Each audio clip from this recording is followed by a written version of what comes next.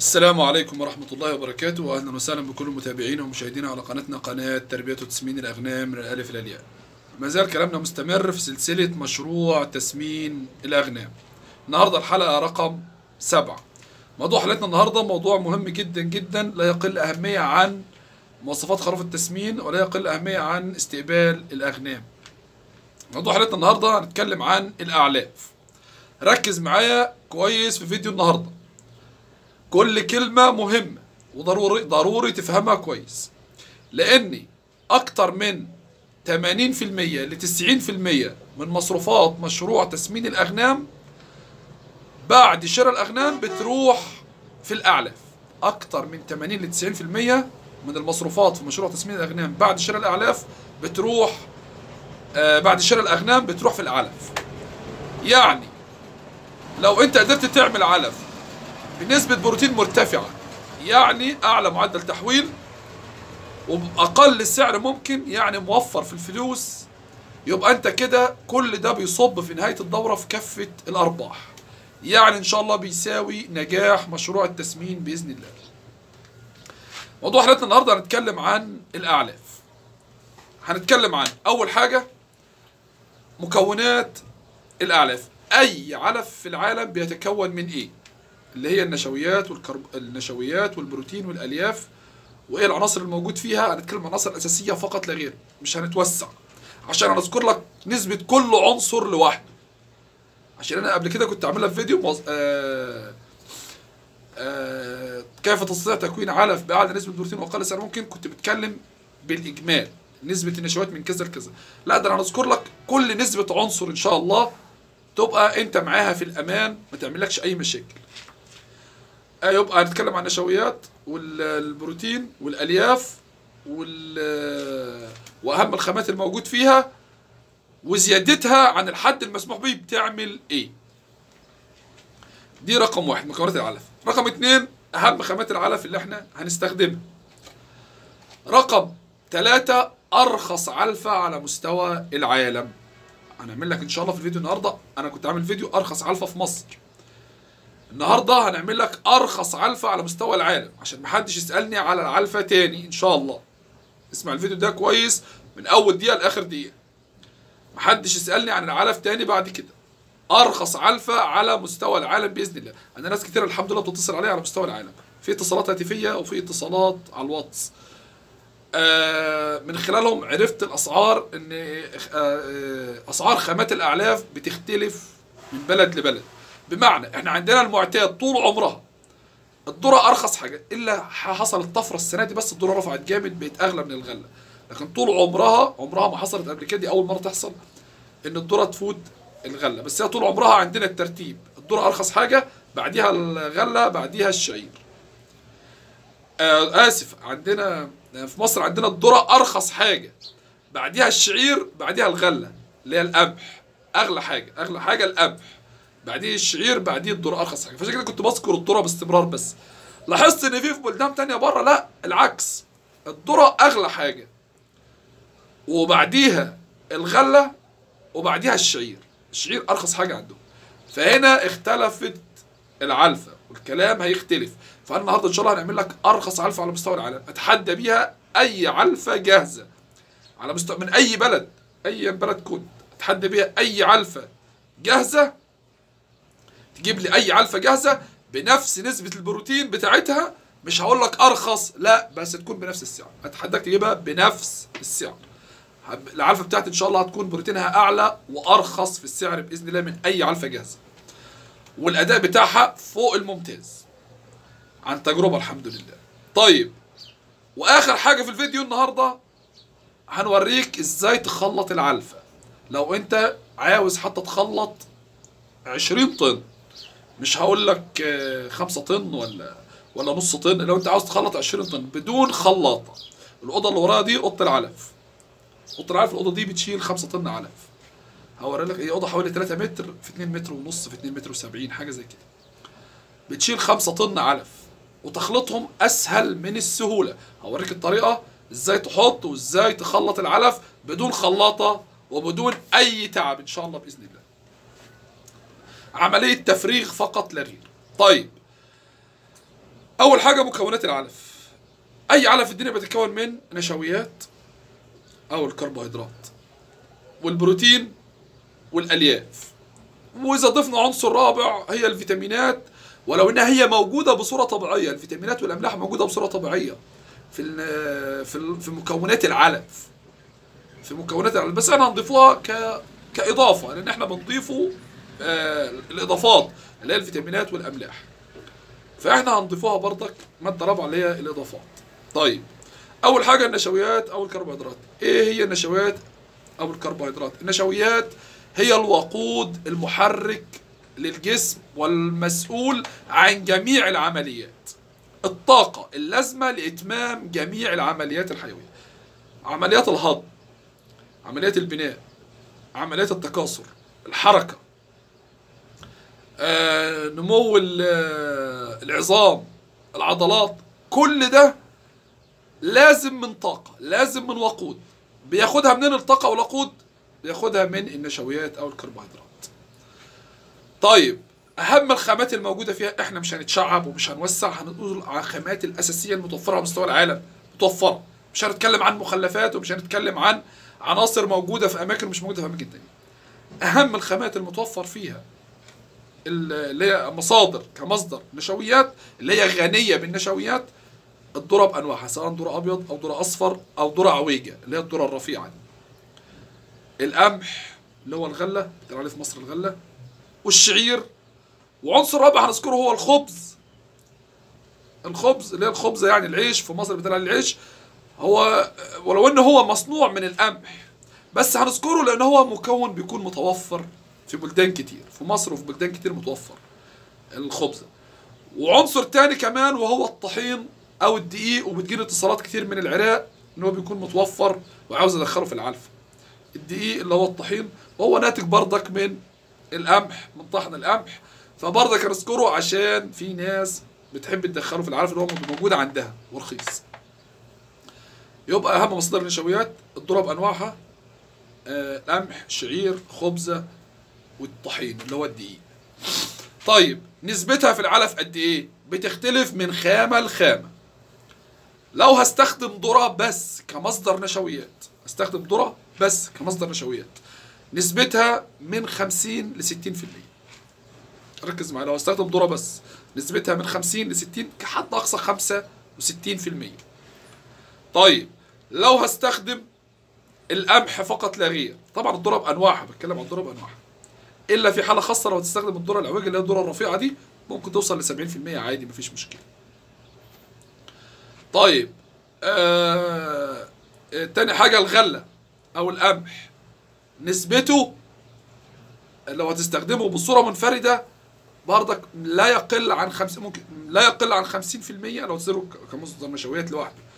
ما يقلش عن 50% وممكن يوصل ل 85 و90% القمح اللي هو الغلة من 50 ل 85 أو 90% كذلك الشعير نفس القمح من 50 ل 85% ممكن يوصل 90% طيب الخبزة. الخبزة ما انصحش إنك تستخدمها كمصدر نشويات بصورة منفردة. ما انصحكش تستخدم الخبزة بصو- مصدر نشويات بصورة منفردة. ولكن إذا توفر ليك 50% كويس. اذا إذا ما فيش غير ما فيش غير قدامك ال- الخبزة يبقى 50% ما تزودش عن كده. 50% خبزة لو هي لوحدها بس كمصدر نشويات في العلف. الطحين نفس الخبزة بس مع التحفظات عليه لأنه ناعم والغنم ما بتحبش الناعم ياما بتحب الأحرش الخشنة شوية فبالتالي ما تزودش عن 40% 30 35% حلو. عشان ما تصبحش الع- العلفة كلها ناعمة والغنم تكره العلفة. إحنا عاوزين العلفة الغنم تاكل بأك أكبر قدر ممكن من العلفة. فأنا مش عاوز أكرهها في العلفة. فالطحين زيادة عن اللزوم الدقيق زيادة عن اللزوم بتبقى في البهايم براحتك. في البهايم البقر والجاموس مفيش مشكلة. إحنا بنتكلم عن الاغنام موضوعنا تسمين الاغنام يبقى الطحين ما تزودش عن 35 40% ده كده يعتبر كتير. أنا بقول 30 حلو قوي وما ينفعش لوحده كمصدر نشويات. لازم تدخل بقى حاجة لأن ال 30 دي أصبحت كمية منخفضة ما تكفيش. 30% أصبحت كمية منخفضة لازم تستخدم معاه عناصر تانية من النشويات. هو والخبز برضك نفس النظام. إنما الذرة ممكن تستخدمها لوحديها القمح لوحده الشعير لوحده مفيش أي مشكلة. الخبزه وال- والطحين الدقيق يستخدم لازم يفضل تستخدم معاه مصدر تاني للنشويات عشان ما تزودوش عن اللزوم. طيب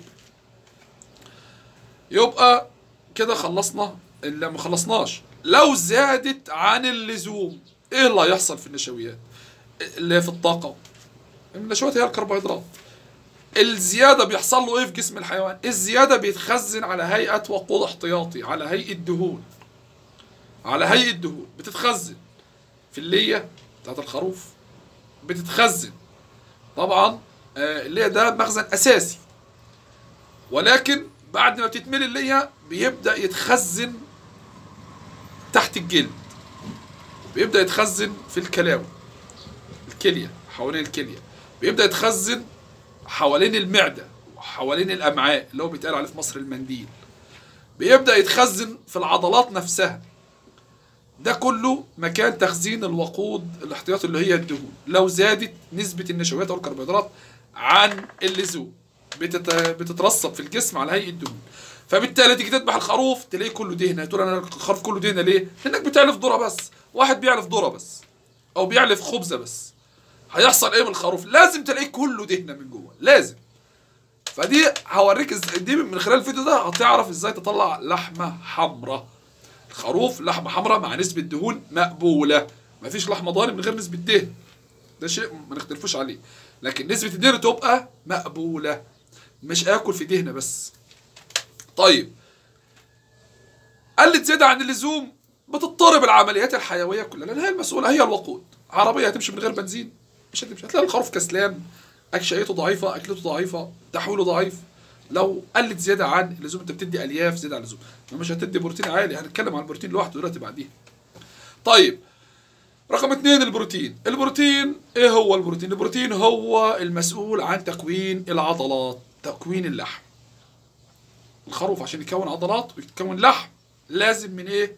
لازم من البروتين. أهم الخامات الموجود فيها البروتين هنقف عند خامة أساسية وهي كسب فول الصويا. طبعا كلمة كسب كلمة كسب معناها آه الحب أو البذور بعد استخلاص الزيت منها. يعني لو قلت كسب سمسم معناها حبوب السمسم عصرناها واستخلصنا منها. زيت السمسم التفل المتبقي ده كسب السمسم. لو قلنا كسب بذرة القطن معناها حبوب اللي هي البذور بتاعة القطن بعد عصرها واستخلاص زيت القطن منها يطلع لك آه المتبقي ده كسب بذرة القطن. وكذلك كسب بذرة الكتان وكذلك كسب الفول السوداني وكذلك كسب فول الصويا وده لينا وقفة عليه لأن ده هنستخدمه أساسي كمصدر بروتين في أرخص علفة هنذكرها إن شاء الله. يبقى مصدر البروتين الأساسي فيها كسب آه، فول الصويا. فول الصويا بالمناسبة أهي الناس اللي مش عارفة شكله هو بتبقى حباية صغيرة تشبه حبة اللوبيا. دي حباية صغيرة شوية بيبقى أكبر من كده شوية. حجمها ما يعادل حجم البسلة اللي هي البازلاء بتبقى طرية نوعا ما عن الفول البلدي لأن فيها نسبة زيوت عاليه توصل ل 25% بعد استخلاص الزيت منها المتبقي هو ده كسب فول الصويا. نسبة البروتين فيه من 44 وفي 46 وفي 48% طيب يبقى مصدر البروتين قلنا الاكساب بأنواعها والفول البلدي مثلا الفول أو الحمص أو البسلة أو الترمس الحلو مش المر المر فيه نسبة سموم أو ال- الحمص كل دي مصادر بروتين. ولكن على حسب المكان المتوفر عندك هتستخدم مصدر البروتين. بس إحنا هيكون في الفيديو بتاع النهارده لينا وقفة مع كسب فول الصويا. طيب. يبقى كده نسبة البروتين ذكرناها. وعن ال- البروتين ذكرناه هو وايه أهم الخامات المتوفر فيها. طيب لو زاد زيادة عن اللزوم البروتين لفترة طويلة ما بتكلمش على يوم ولا يومين. كذلك النشويات ما بتكلمش عن يوم ولا اتنين ولا تلاتة ولا أسبوع ولا أسبوعين. لا ده أنا بتكلم عن شهرين ولا حاجة شهر ونص. هي هنا اللي هتحصل المشاكل الدهون. لكن يومين ثلاثة أسبوع مش هتعمل مشكلة.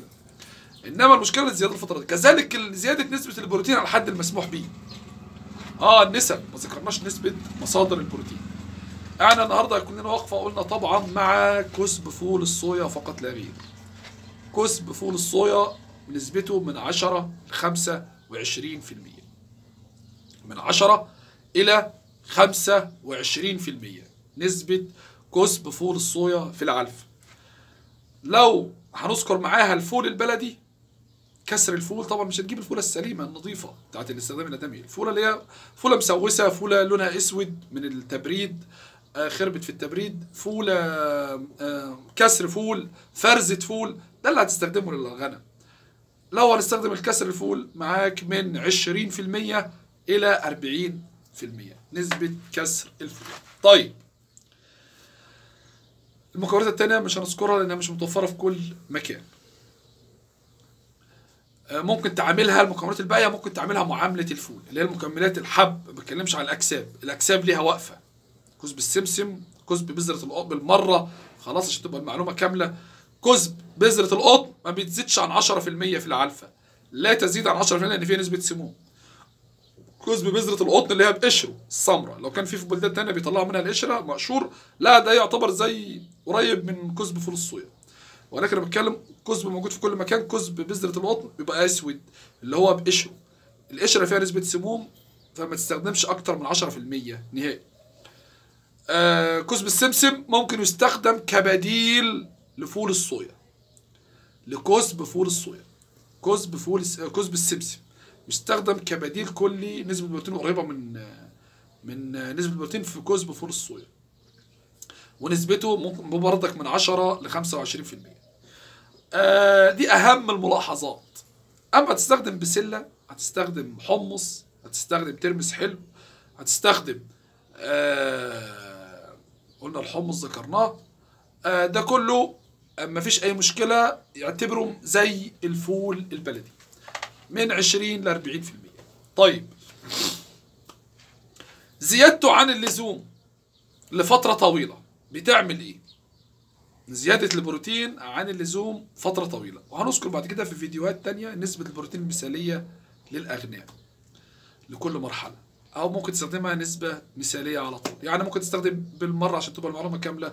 17% نسبة بروتين من أول ما تدخل لحد ما تطلع نسبة متوسطة. 100 100 دي مش نسبة زيادة. مفيش مشكلة.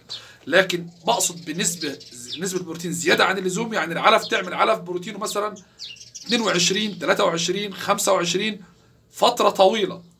فترة طويلة. بالذات النسبة دي بتتأثر بيها الغنم الكبيرة. عن الغنم الصغيرة. الغنم الصغيرة ممكن تستخدم لها 25% بروتين أول شهر من الفطام. مفيش أي مشكلة. لو عرفت توصل نسبة 25% بروتين مفيش مشكلة. بس هي النسبة المثالية يعني 20 21 22 ممتاز.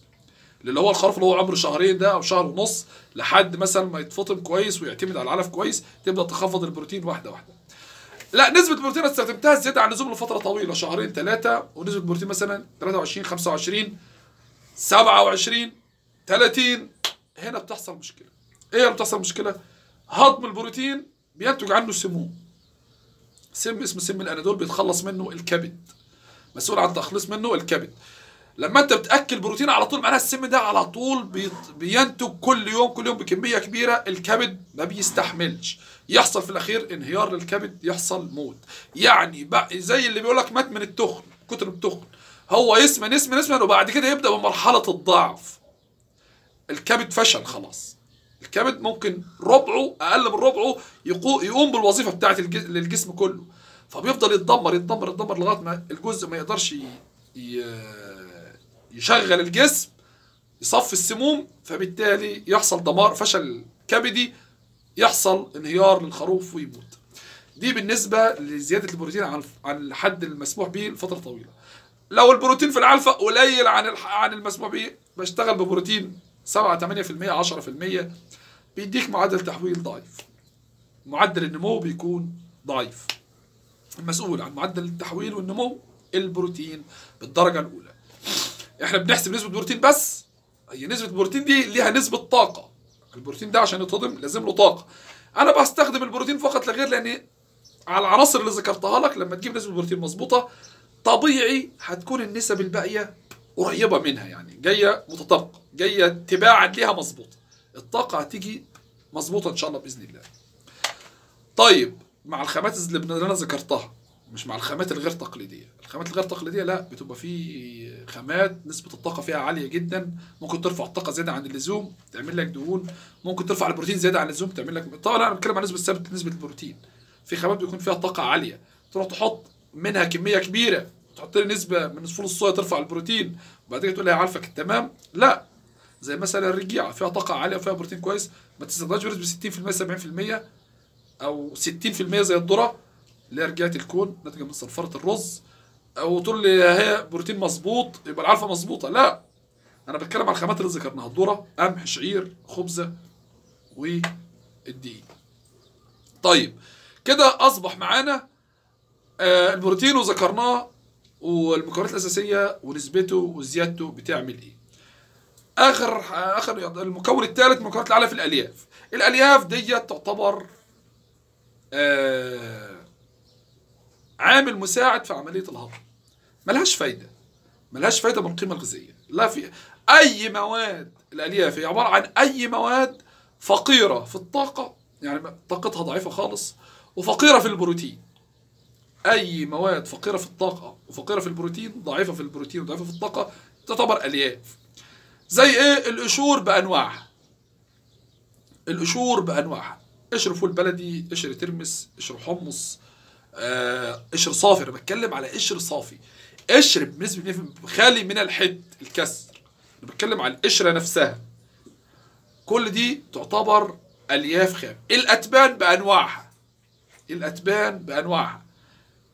تبن فول تبن القمح تبن الشعير التبن الأبيض تبن البرسيم.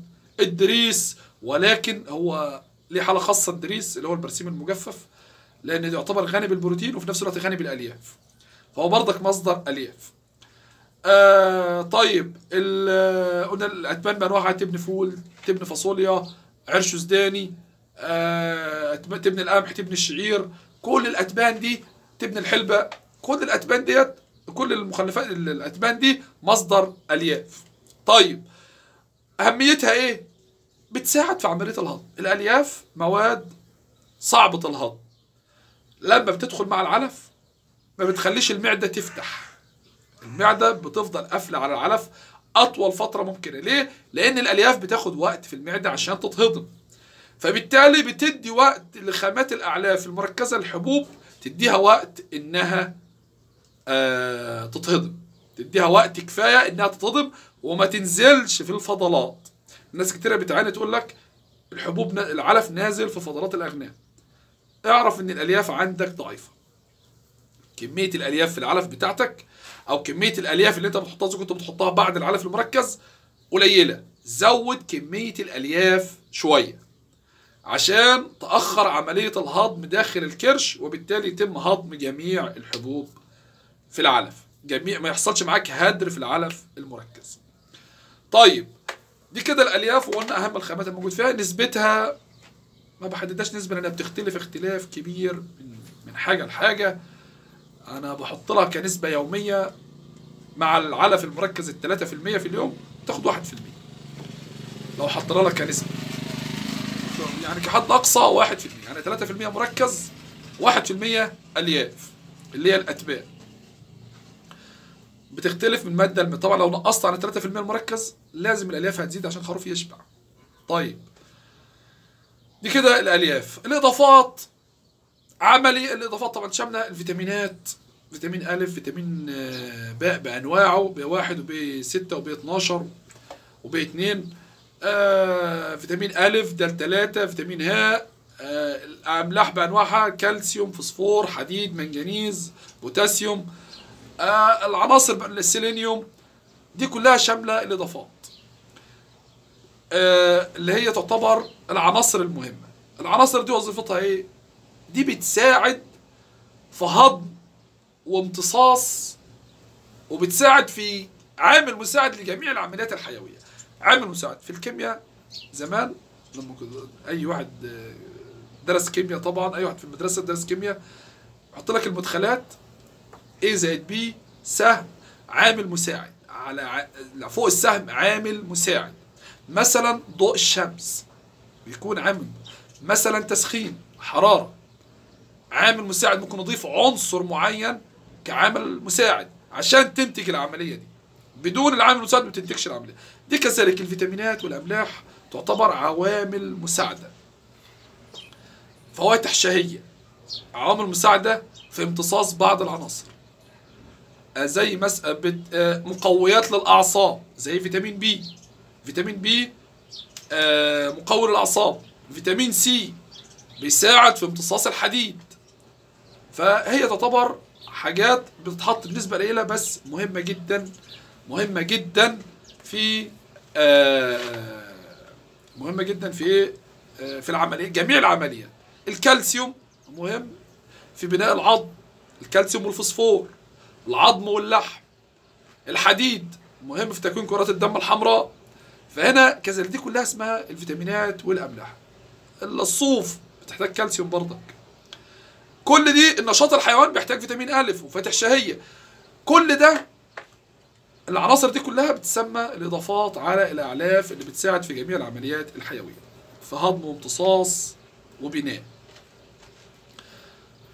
نسبتها ده كله مكون بيبقى على حسب العلبة بتاعته مكتوب لك عليها الكمية اللي بتنضاف على طن العلف طيب هنتكلم دلوقتي وصلنا لأرخص علفة على مستوى العالم. أنا هستخدم كسب فول الصويا. ما تستغلاش كسب فول الصويا. عندنا في مصر هنا سعره المتراوح من 6 جنيه في الرخص وحاليا ب 8 جنيه ونص ووصل 9 جنيه.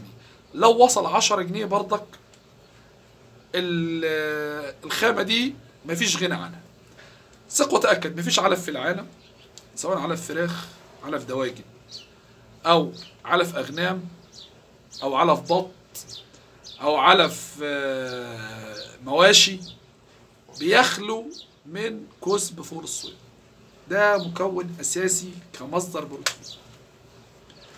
أساسي لازم يستخدم في الأعلاف دي. أي علف جاهز لازم ما يخلاش من كسب فول الصويا. ليه ما يخلاش من كسب فول الصويا؟ ما تستغلاش سعر الكيلو. ما تستغلاش سعر الكيلو. بس أنا مش معايا الآلة الحاسبة عشان كل وقت وليها سعر. يعني طبعا أنا كنت حاسبها الأول كانت نسبة الوحدة سعر وحدة البروتين في كسب فول الصويا كانت 15 تقريبا. كانت 15 15 قرش لكل واحد في المية بروتين. دي كانت مش فاكر لما كان السعر كام. أنا طبعا كل وقت بقول السعر. النهارده ب 8 جنيه و40 قرش تقريبا. 8400 طن كسب فول الصويا في مصر. فعشان الآلة عشان أحسب لك أنت تحسب بنفسك. إزاي تعرف أرخص مصدر بروتين؟ نسبة البروتين على السعر. أو تقسم معلش ال- السعر السعر على نسبة البروتين. يعني مثلا آه، الصويا النهارده ب 8400 جنيه. تقسم 840 قرش 8.4 على نسبة البروتين في في كسب فول الصويا 44 في منه 46 في منه 48 بس أنا بذكر لك سعر اللي هو ال 44% بروتين. سعر ال 44% بروتين آه 8400 جنيه الطن. يعني الكيلو ب 8 جنيه و40 قرش. تقسم 8.4 اللي هي 840 قرش على 44 هيطلع لك سعر وحدة البروتين. هيطلع لك قرش لكل 1% بروتين. تقيس عليها مع الفول مع الحمص مع البسلة. كمصدر بروتين ما تقيسليش معاها كمصدر نشويات كمصدر بروتين. معاك الحمص. معاك البسلة معاك الترمس معاك مثلا كسب السمسم هتقيس على الأكساب اللي تصلح بديل كمصدر بروتين لوحديها. ركز معايا. تصلح مصدر بروتين لوحديها. يعني كسب السمسم يصلح بديل كسب فول الصويا بالكامل ويصلح لوحده كمصدر بروتين. الفول البلدي يصلح كمصدر بروتين لوحده. البسلة تصلح كمصدر بروتين لوحديها. الحمص يصلح كمصدر بروتين. قلنا البازلاء ذكرناها برضك تصلح كمصدر بروتين. الترمس اللي هو الترمس الحلو مش المر يصلح كمصدر بروتين لوحده في العلف. الحاجة دي اللي تصلح كمصدر بروتين لوحدها قيس سعرها على نسبة البروتين اللي فيها. في فيديو في القناة اسمه نسبة البروتين في كل خامات الأعلاف. في القناة راجعوا كل خامة بالصورة بتاعتها اللي مش عارف المسميات بصورتها ذاكر نسبة البروتين فيها. يبقى. قيس عندنا هنا في مصر مفيش أرخص من كسب فول الصويا. مفيش أرخص من كسب فول الصويا. في الخامات اللي ذكرتها لك سعر وحدة البروتين وهو أغلاهم سعر. هو أغلى سعر في الكيلو. الناس بص على سعر الكيلو بص على سعر الكيلو. بص على سعر وحدة البروتين في الواحد في المية بروتين. كل واحد في المية بروتين بيساوي كام قرش؟ بيساوي كام بالعملة بتاعتك في بلدك؟ فبالتالي أرخص مصدر بروتين عندي هو كسب فول الصويا. أنت هتقيس في بلد في, في بلدك. لربما توفر عندك بسلة سعرها رخيص. نسبة البروتين في البسلة كسر البسلة النظيفه آه تراوح حوالي 23 25% خليها على 23% وقيس السعر على نسبة البروتين. شوف هيطلع لك سعر الوحدة مظبوط أرخص يبقى تستخدمه هو بدل الصويا. قيس عليها جميع الخامات اللي ذكرتها قبل كده. طيب وبالنسبة اللي أنا ذكرتها برضك قبل كده هتستخدمه هو كمصدر بروتين. أول حاجة آه، ده كده بنتكلمه كمصدر بروتين. أنا بالنسبة لي أستخدم كسب فول الصويا. طيب هتيجي في الذرة بأنواعها في القمح وفي الشعير فين الأرخص في بلدك؟ في الثلاثه دول. هنستخدم كمصدر بروتين.